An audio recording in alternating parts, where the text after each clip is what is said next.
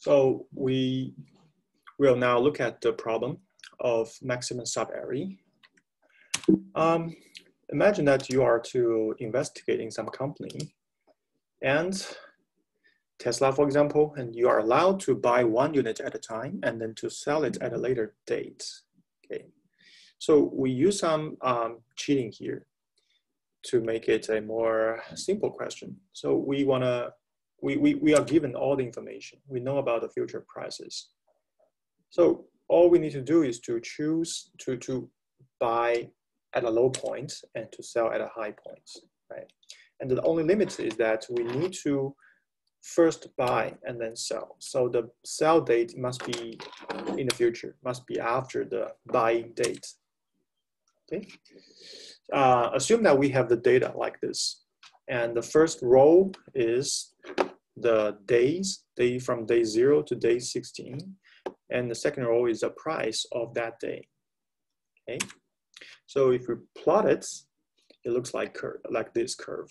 Okay. There's low points, right? Low points here, high points here, high points here, low points here, okay? So all we need to do is to to choose a day to buy in and then choose another day after the buying day to sell it. Yeah. So the problem is also clear. So how do we get the maximum profits out of our strategy? Okay. So we can think about this straightforward strategy. Um, what about buying at the lowest and selling at the highest possible date? Okay. So they're basically given the data like this, we can, there are two ways to do according to this strategy. We can find the lowest and the highest point prices. Okay, so to the highest prices, because the highest price is the day that we want to sell it, so we will need to work left from the highest price to find the lowest prior price, right? Because the buying must happen before the sell, okay? Or the second way is that we fix the buying date, right?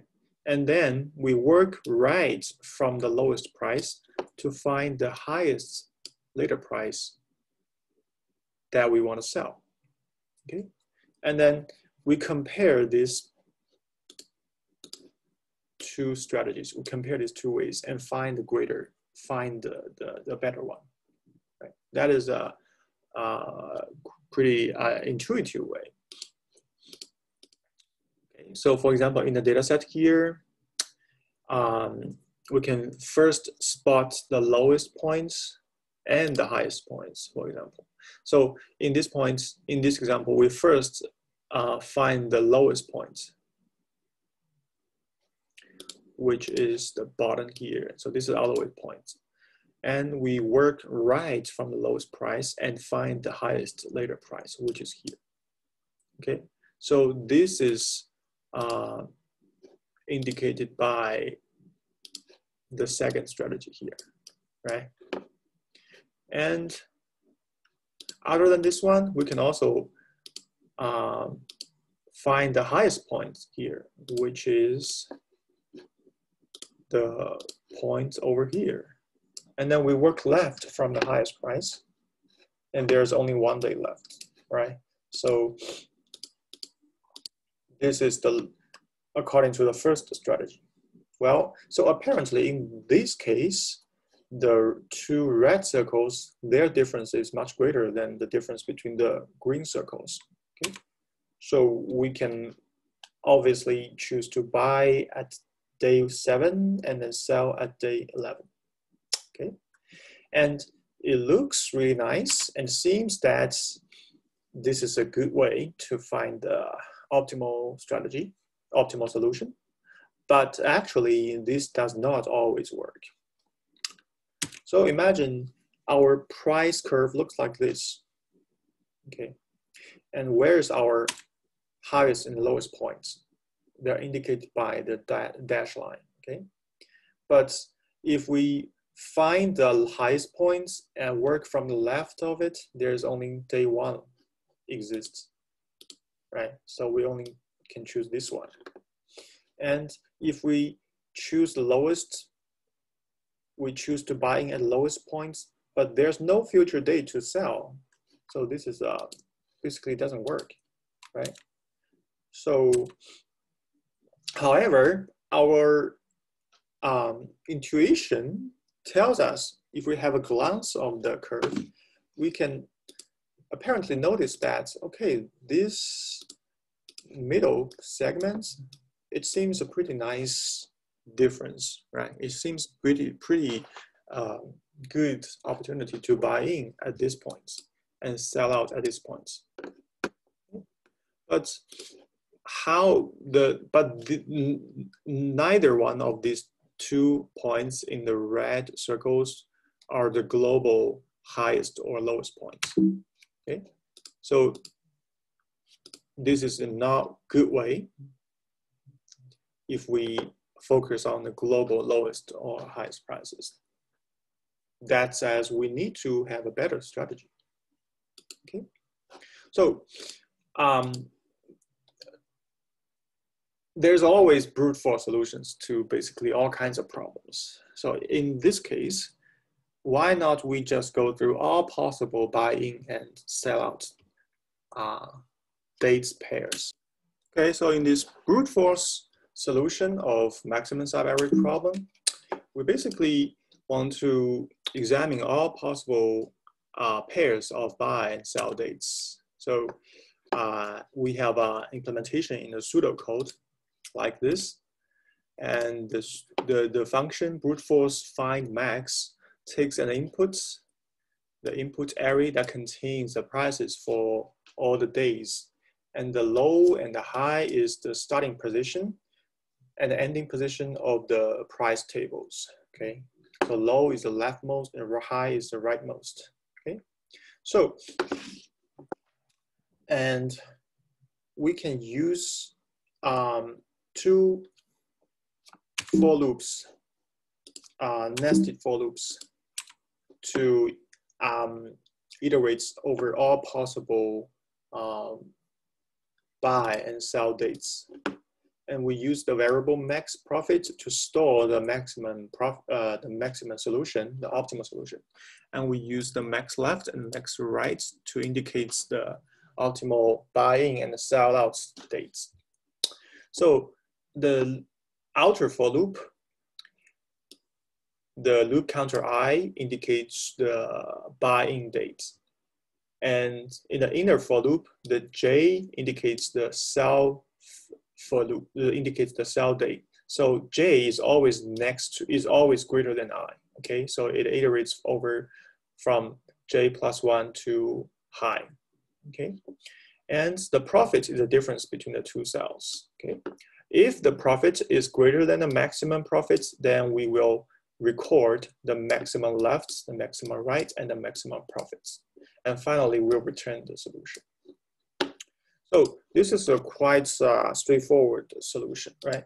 But um, if we analyze the efficiency of this algorithm, it's basically two for loops, right? And we know that um, whenever we have a nested for loops, the running time is will look um, uh, eventually looks nasty because this problem basically um, means that the inner for loop is uh, executed for these many times, right? It's a summation of uh, arithmetic series. So it's a quadratic function, okay?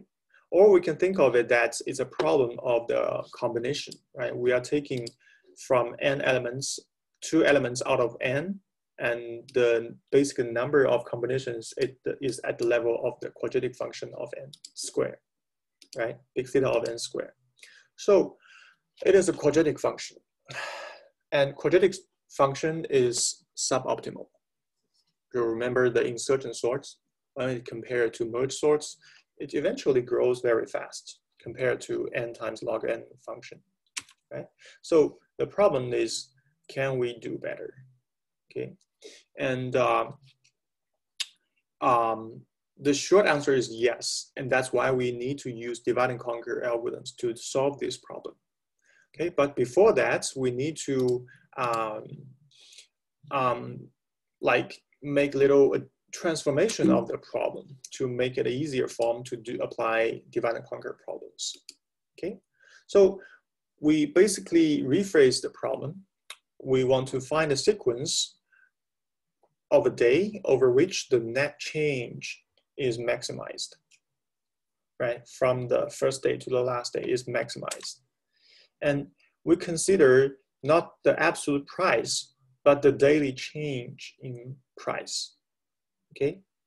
And that change is the computed by the current price minus the previous day price, right?